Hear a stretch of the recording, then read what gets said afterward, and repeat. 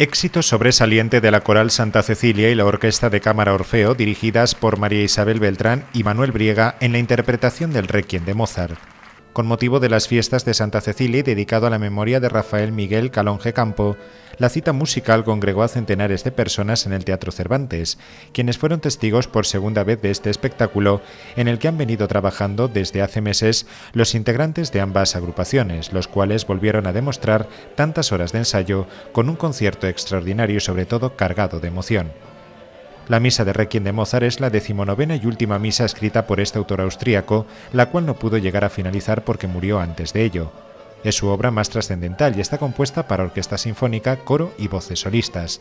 De hecho, como ocurriera hace un par de años cuando se puso en escena por primera vez con los mismos protagonistas, los solistas que participaron volvieron a ser María Isabel Beltrán como soprano, Paquita Calonge como contralto, Antonio Muñoz como tenor y Fernando Calonge como bajo.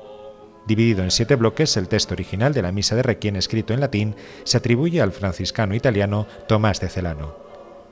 La cita se convirtió en una especie de obituario para Rafael Miguel Calonge Campo, ya que en la segunda parte se proyectó un vídeo dedicado a su memoria en el que se extrajeron diferentes fragmentos de temas de zarzuela donde él había intervenido, así como fotografías y vídeos de su vida. Les informamos que este próximo sábado nuestro habitual programa especial les ofrecerá íntegro este espectáculo.